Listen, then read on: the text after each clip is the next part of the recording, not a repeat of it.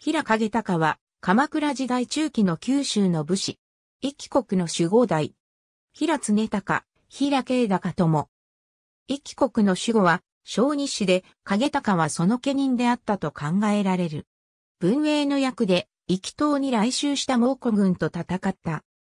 八幡宮、道里氏によれば、文英の役の文英11年10月14日猿の時、猛虎軍が壱岐島の西岸に上陸すると、影高は百余機の武士を率いて長谷向かい、小三郎という者の城の前で矢を追いかけて、猛虎軍を迎え撃った。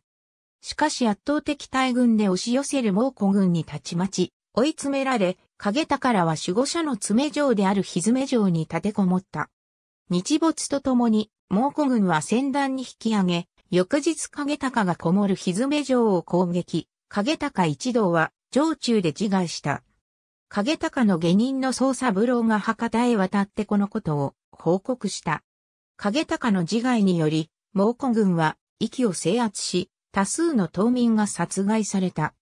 新城神社内に設置されている、平影高寺人の地を表す非明治維新後、全国的に中心の検証運動が高まり、問いの入港、公安の役の戦死者と共に、新城神社に祀られた。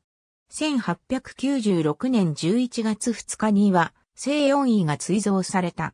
ありがとうございます。